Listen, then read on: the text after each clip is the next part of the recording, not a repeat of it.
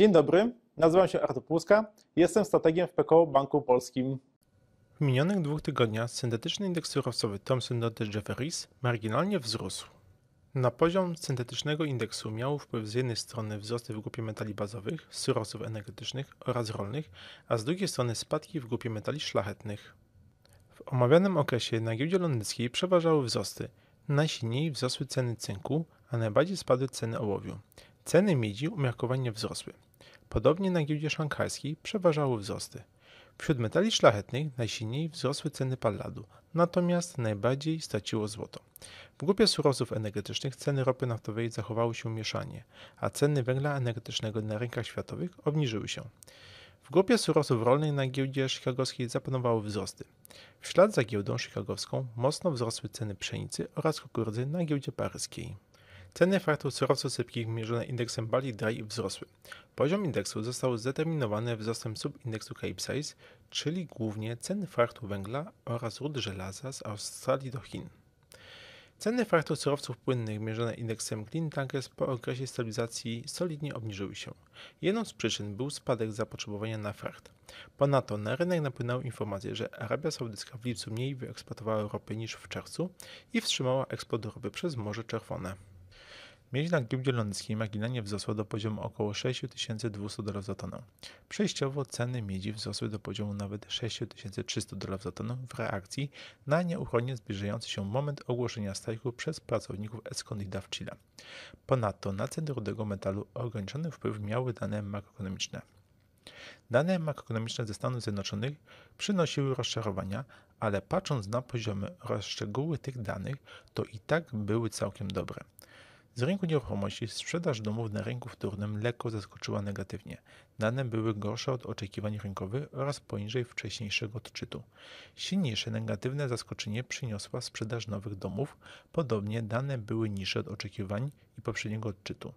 Kolejne negatywne zaskoczenie przyniosły zamówienia na doba trwałe. Ich dynamika co prawda z miesiąca na miesiąc przyspieszyła, niemniej inwestorzy liczyli na znacznie więcej.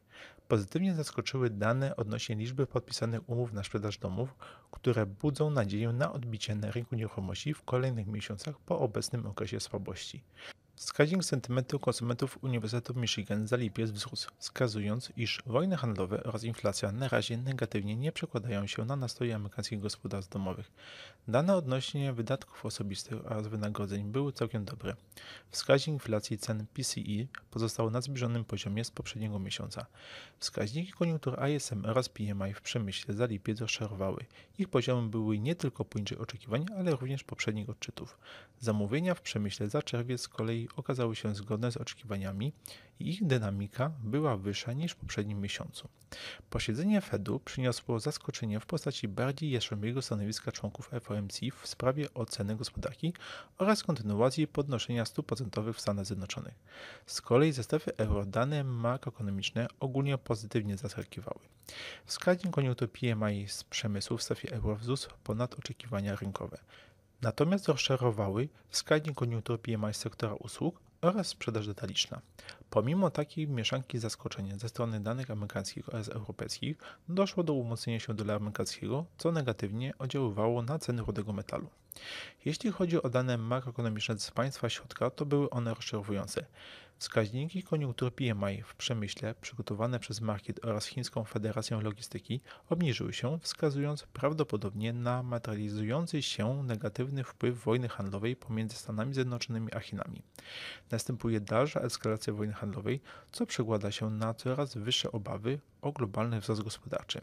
Odnośnie kopalni Escondida, to negocjacje władz spółki z pasownikami zakończyły się fiaskiem.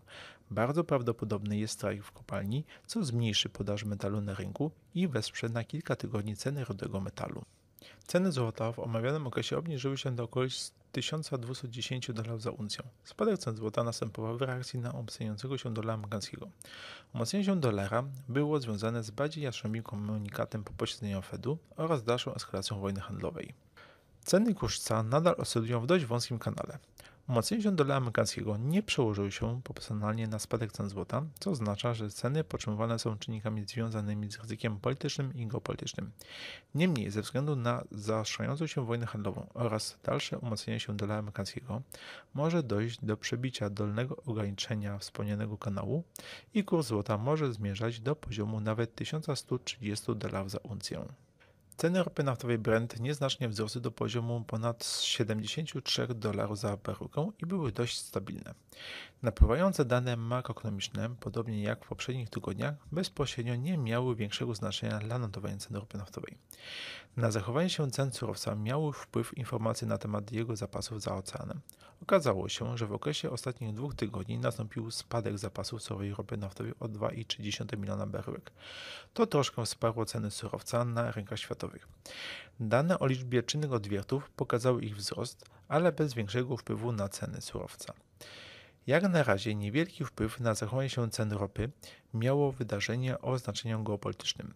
Arabia Saudyjska czasowo wstrzymała transport ropy naftowej przez Morze Czerwone po tym, gdy ich statki transportujące ropę zostały zaatakowane przez grupy militarne z Jemenu powiązane z Iranem.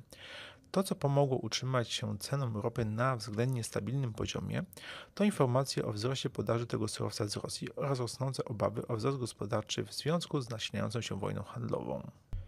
Dziękuję za uwagę, mówił Artur Puska, Statek PKO Banku Polskiego.